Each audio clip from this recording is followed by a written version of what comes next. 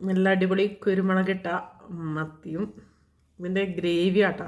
നല്ല super taste അത്യാവശ്യം സ്പൈസിയാണ് നല്ല ടേസ്റ്റിയാണ്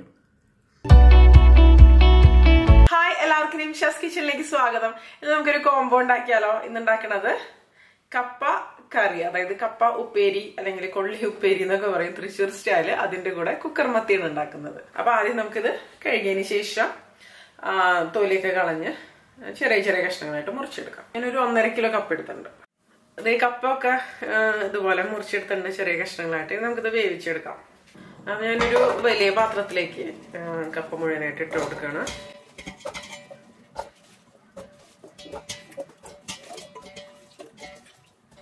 ഇനി ഇതിലേക്ക് ആവശ്യത്തിന് വെള്ളം നമുക്ക് ഒഴിച്ചു കൊടുക്കാം. ഇനി ഇത് നന്നായിട്ടൊന്ന് തിളച്ചു വരട്ടെ. പിന്നെ നമുക്ക് കുക്കർ മത്തി ഉണ്ടാക്കണം. അപ്പൊ അതിന് വേണ്ടിയിട്ട് ഞാനിവിടെ ഒരു അര കിലോ മത്തി എടുത്തിട്ടുണ്ട്. നല്ല നെയ്യുള്ള മത്തിയാണ് കേട്ടോ. ഇത് ക്ലീൻ ചെയ്ത് നന്നായിട്ട് കഴുകിയെടുത്തിട്ടുണ്ട്. ഇതിലേക്ക് നമുക്ക് ഒരു ടീസ്പൂൺ മഞ്ഞൾപ്പൊടി ഇട്ട് കൊടുക്കാം. പിന്നെ കുറച്ച് മുളക് പൊടി. മുളക് പൊടി ഞാനൊരു രണ്ട് ടീസ്പൂൺ ചേർക്കുന്നുണ്ട്. ഇതിപ്പോ കാശ്മീരി മുളക് പൊടിയാണ്. പിന്നെ മെയിനായിട്ട് ഇതിലേക്ക് ചേർക്കേണ്ടത് കുരുമുളക് പൊടിയാണ് കേട്ടോ. പ്രത്യേകിച്ച് കുരുമുളക് പൊടിയുടെ ഒരു ഫ്ലേവർ മത്തിക്ക് നല്ലൊരു ടേസ്റ്റ് തന്നെ കൊടുക്കും.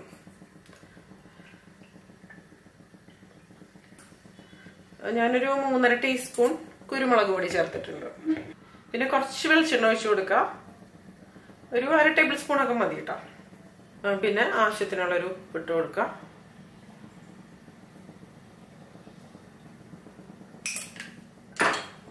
ഇനി കൈ വെച്ച് നമുക്കിതെല്ലാം കൂടി നന്നായിട്ട് തന്നെ ഒന്ന് മിക്സ് ചെയ്ത് കൊടുക്കാം.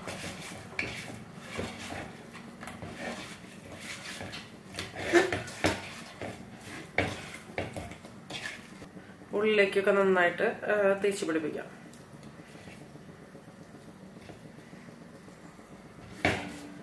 വരഞ്ഞൊന്നും എടുക്കേണ്ട ആവശ്യമില്ല. ഇത് മതി. ഒരു അരമണിക്കൂർ ഞാൻ ഇതുപോലെ ഇതൊന്ന് മാറ്റി വെക്കട്ടെ. സമയമില്ലെങ്കിൽ ഒരു പത്ത് മിനിറ്റ് ആണെങ്കിലും വെച്ചാൽ മതി. പിന്നെ ഞാൻ ഇവിടെ ഒരു പാത്രത്തിൽ കുറച്ച് വെള്ളം എടുത്തിട്ടുണ്ട്. ഒരു അരക്കപ്പോളം അളവിൽ വെള്ളം എടുക്കാം. ഇതിൽ നമുക്ക് കുറച്ച് സാമ്പാർ പുളി അല്ലെങ്കിൽ കോൽപ്പുളി സോക്കാൻ വേണ്ടിയിട്ട് വെക്കാം. ചൂടുവെള്ളത്തിൽ വെച്ചാലും കുഴപ്പമില്ല കേട്ടോ. ഇതൊന്ന് സോക്കായിട്ട് വരട്ടെ. ഇത് മാരിനേറ്റ് ആയിട്ട് വരണ ഒരു സമയം കൊണ്ട്. അപ്പോൾ ഞാൻ ഈ ഒരു സൈസിലാണ് എടുത്തിരിക്കുന്നത്. നമ്മൾ എടുക്കണം മത്തിക്കനുസരിച്ച് മീനിനനുസരിച്ച് എടുത്താൽ മതി. ഇതുപോലെ നല്ല നെയ്യുള്ള മത്തിയാണ്. ഇതുപോലുള്ള റെസിപ്പി ഒക്കെ ചെയ്യാൻ നല്ല നെയ്യുള്ള മത്തിക്കണമെങ്കിൽ കൂടുതൽ നന്നായിട്ട് വരും. ഇനിയിപ്പോൾ നമുക്കിതൊന്ന് തുറന്നു നോക്കാം. ഇതിപ്പോൾ കണ്ടില്ലേ നന്നായിട്ടൊന്ന് തിളച്ച് വന്നിട്ടുണ്ട്. ഞാനത് ഊറ്റി വെള്ളം കളയണം കേട്ടോ.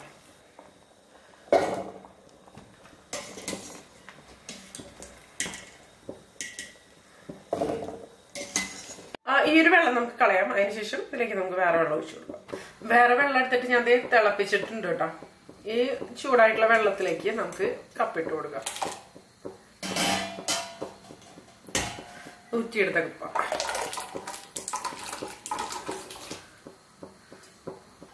ഒന്ന് വെന്ത് വരട്ടെ. ഞാൻ അടച്ചു വെക്കണം. ഇനിയിപ്പോ അതേ ഞാനൊരു പ്രഷർ കുക്കർ എടുത്തിട്ടുണ്ട്. കുക്കർ മത്തി ഉണ്ടാക്കാൻ വേണ്ടിയിട്ട്. ഇതിലേക്ക് നമുക്ക് കുറച്ച് കറിവേപ്പില ഇട്ട് കൊടുക്കാം. എണ്ണ ഒഴിക്കണ്ട. ഇനി ഇതിലേക്ക് നമ്മൾ മാരിനേറ്റ് ചെയ്ത് വെച്ച മത്തി ഉണ്ടല്ലോ ഇത് വെച്ചു കൊടുക്കാം.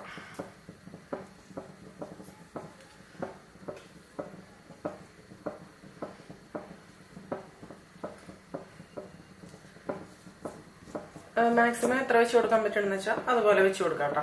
മുകളിലേക്ക് മുകളിലേക്ക് അങ്ങനെ വെച്ച് കൊടുക്കാതിരിക്കുന്നതായിരിക്കും നല്ലത്.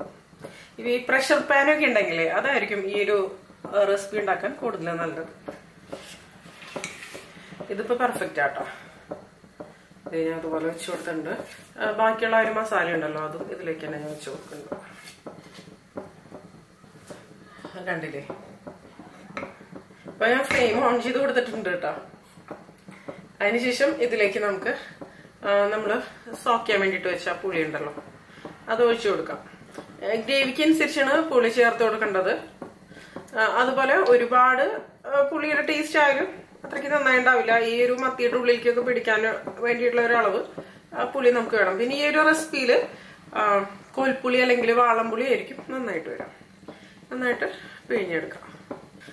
കണ്ടോ ഇതുപോലെ കട്ടിയുള്ള ഒരു പ്യൂരി പുളിയുടെ പ്യൂരി. അതാണ് നമുക്ക് ആവശ്യം. ഇത് നമുക്ക് ഇതിലേക്ക് ഒഴിച്ചു കൊടുക്കാം. ഒരുപാട് വേണ്ട കേട്ടോ. ഒരു അരക്കപ്പോളം മുളക് അത് മതി. ഇനി മീന്റെ ഉള്ളിൽ നിന്നും കുറച്ച് വെള്ളം പുറത്തോട്ട് വരും. ഇതും കൂടി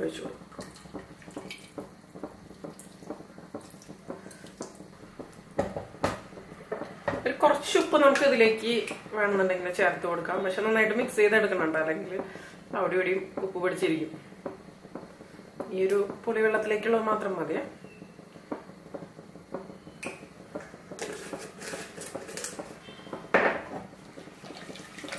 ഇതുപോലെ ഒന്ന് മിക്സ് ചെയ്ത് കൊടുത്താലും മതി. മതി. വേറെ ഒന്നും വേണ്ട. സിമ്പിളായിട്ടുള്ള ഈ ഒരു മസാല തന്നെ മതി. നല്ല ടേസ്റ്റി ആട്ടാ. ഇനി കുക്കർ അടച്ചതിന് ശേഷം ഹൈ ഫ്ലെയിമിൽ വെച്ചിട്ട് നമുക്ക് ഒരു വിസിൽ വരണ വരെ നമുക്കിത് കുക്ക് ചെയ്തെടുക്കാം. മീൻ മീനായതുകൊണ്ട് ഒരുപാട് സമയം വേണ്ടല്ലോ വേവിച്ചെടുക്കാൻ. എന്നിട്ട് കംപ്ലീറ്റ് പ്രഷർ പോയതിനു ശേഷം തുറന്നു നോക്കാം. ഇനിയിപ്പോ നമുക്കിതൊന്ന് തുറന്നു നോക്കാം. കംപ്ലീറ്റ് പ്രഷർ പോയിട്ടുണ്ട് കണ്ടില്ലേ നമ്മുടെ കുക്കർ മത്തി നല്ല അടിപൊളിയായിട്ട് റെഡി ആയിട്ടുണ്ട്. ഇതിൽ ആവശ്യത്തിനുള്ളൊരു ഗ്രേവി ഉണ്ട് മത്തി തീരെ കുഴഞ്ഞൊന്നും പോയിട്ടൊന്നുമില്ല കേട്ടോ. കണ്ടില്ലേ മത്തി തീരെ കുഴഞ്ഞൊന്നും പോയിട്ടൊന്നുമില്ല അടിപൊളി തന്നെയാ. ഇതൊന്ന് തുറന്നു നോക്കാം. ഇതൊരു പകുതിയോളം വെന്ത് വന്നിട്ടുണ്ട്. ഇതിലേക്ക് ഞാൻ കുറച്ച് ഉപ്പിട്ട് കൊടുക്കണം. ആവശ്യത്തിനുള്ള ഉപ്പ്. നമ്മൾ ഇതൊരു ഉപ്പൊന്നും ചേർത്തിട്ടില്ല.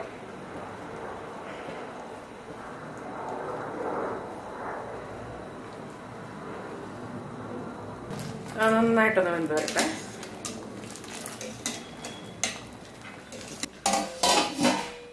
ഇപ്പൊ കണ്ട കപ്പ നന്നായിട്ട് വെന്ത് വന്നിട്ട് ഇത് ഡ്രെയിൻ ചെയ്ത് മാറ്റി വെക്കാട്ടോ കേട്ടോ.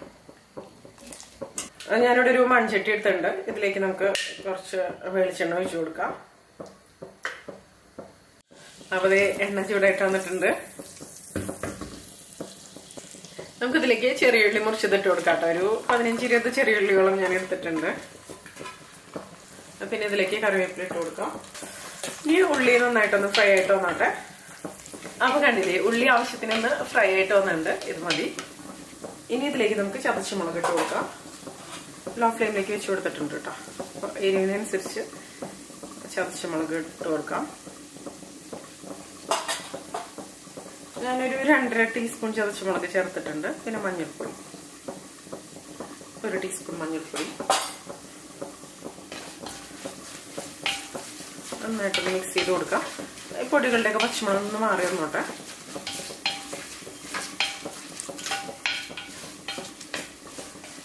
ഇത് മതി. ഇനി ഇതിലേക്ക് നാളികേരം ചെരുകിയത് ചേർത്ത് കൊടുക്കാം. ഞാനിപ്പോ ഒരു നാളികേരത്തിന്റെ പകുതി ചെറിയ എടുത്തതാണ് കേട്ടോ.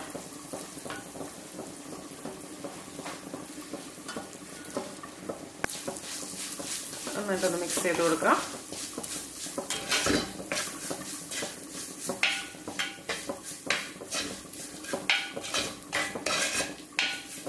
ഇത് മതി. ഇനി ഇതിലേക്ക് നമുക്ക് ഡ്രെയിൻ ചെയ്തെടുത്ത കപ്പ ഉണ്ടല്ലോ കൊടുക്കാം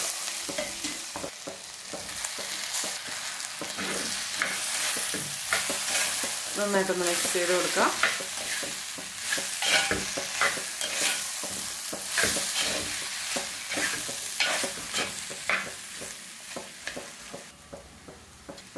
ഞാനിതൊരു പൊട്ടറ്റോ മാഷർ വെച്ചിട്ട് ഒന്ന് ചെറുതായിട്ടൊന്ന് വേണമെങ്കിൽ അതൊന്ന് കുടച്ചെടുക്കാം ഇത് ഒരുപാട് സമയം എടുത്തു ഈ കപ്പ വേവാൻ വേണ്ടിയിട്ട്.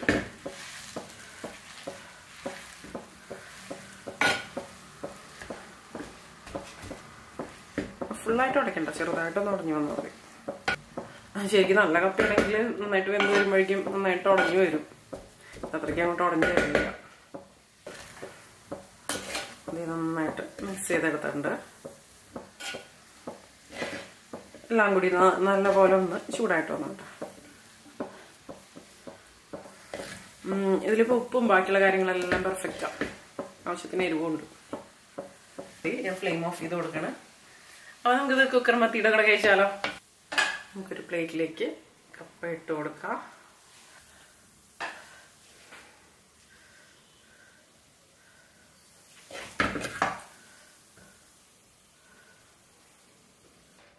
നമ്മുടെ കുക്കർ മത്തി ഇവിടെ റെഡി ആയിട്ടിരിക്കുന്നുണ്ട്. കണ്ടില്ലേ ഇതുപോലെ കുക്കറിൽ ഉണ്ടാക്കുമ്പോ തീരെ കുഴഞ്ഞു പോകുന്നൊന്നും വിചാരിക്കണ്ട കേട്ടോ. തീരെ കുഴഞ്ഞൊന്നും പോയില്ല.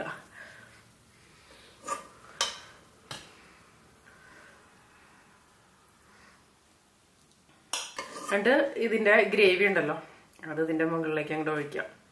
ഇതിന്റെ ഗ്രേവി ആട്ടോ ഇതിന്റെ ഹൈലൈറ്റ് എന്ന് പറയണത്. നല്ല ടേസ്റ്റിയാണ്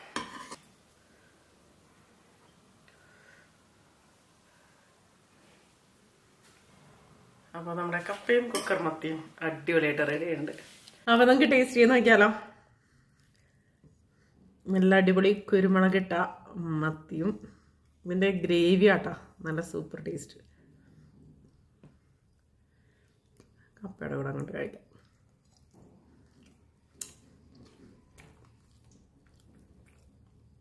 അത്യാവശ്യം ആണ് നല്ല ടേസ്റ്റിയാണ്